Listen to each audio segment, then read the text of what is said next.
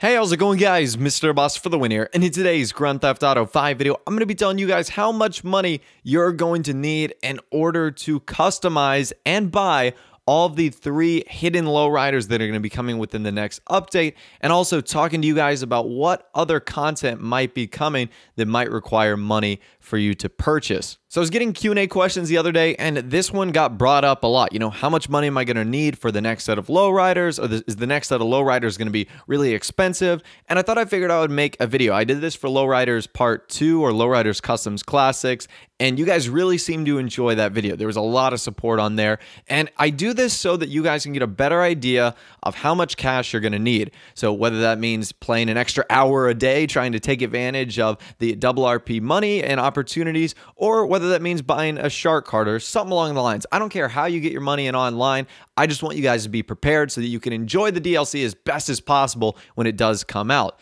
So, with this update, there are a few things that we do know for certain. There are going to be three new vehicles, and so far, there's going to be an adversary mode. Now, with the other video for Lowriders Customs Classics or Lowriders 2, since the content wasn't already in the game, and since Rockstar had to add it with an update, we didn't know, and I didn't know that there was going to be new clothing or those new weapons. Now, I predicted that there was going to be the two new weapons, but I did not predict the new clothing. And obviously, there was, I think there was a total of 120 items. So that would have skewed your prices a little bit. But with this update, we can pretty much predict that it's only going to be the new cars and also the adversary mode. Now, the adversary mode isn't going to cost you anything, it's going to be free and it's going to make you money. So we're not going to include that in this portion of the video. However, what we do know is the prices of the cars that are going to be coming, those new lowriders as well as their conversion price, and we can kind of take a guess as what their uh, upgrade costs are going to be also.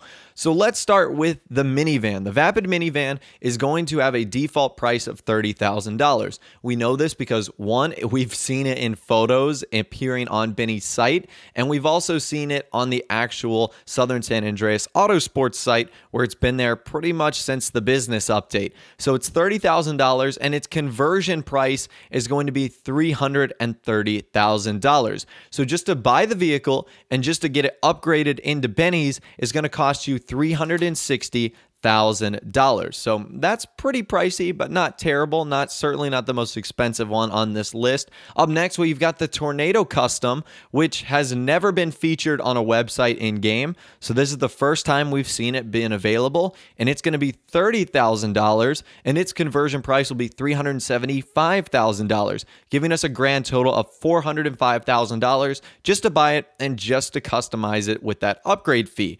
Okay, so that one's kind of in the middle. Now we've got the Sabre Turbo Custom, which I've said is the sportiest version of cars we could bring in here. Its default price, and it's never been on a website before, is going to be $15,000, so not bad. That's the cheapest one. However, this is where they get you. The conversion price is $490,000, giving us a grand total of $505,000 just to buy and customize and get that upgrade ability of the Sabre Turbo. So if we add all three of those together, that being the Sabre Turbo Custom, Tornado Custom, Minivan Custom, default price and conversion price, that gives us a total of $1,270,000.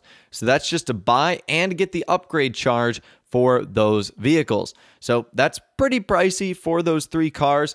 And now from here, we can pretty much play a game of, well, how much are you going to customize? We can imagine and we can confirm all of them are going to relatively have the same upgrades with minor differences. I've stated in videos before that the Tornado has the most, in my opinion, the minivan with the least, but all of them for the most part are going to have interior options. They're going to have hydraulics. There's going to have engine upgrades and tunable. So just to make this easy, I've said that, you know, at a minimum, one would probably spend $500,000, and at a maximum, one would probably spend a million dollars customizing and upgrading these vehicles. So if we went with the absolute minimum of $500,000 for each one, so that would be times three, that would obviously be $1.5 million.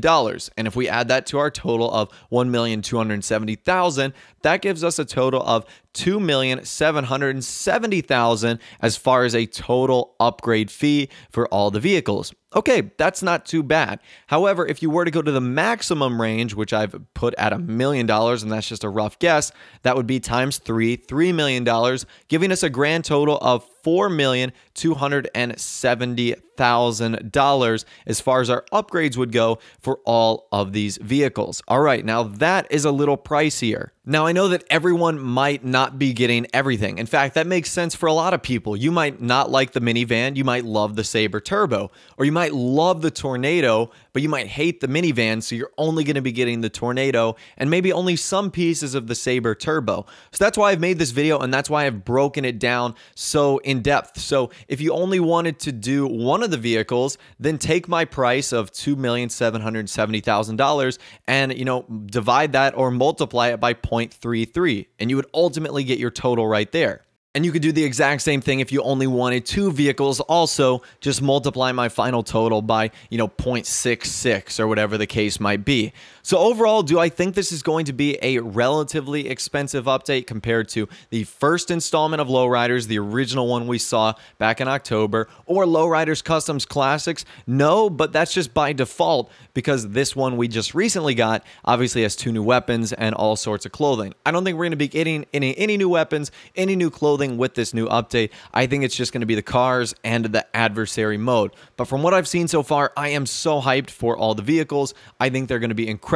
I think they're going to be so much fun, especially the Tornado. I'm telling you guys, I might be overhyping the Tornado, but from what I've seen so far and what I've experienced personally customizing it, it is so much fun. It is a blast. So I think I'm looking forward to that one the most. So bottom line, is this update going to be expensive? You know, anywhere from 2 million to $5 million.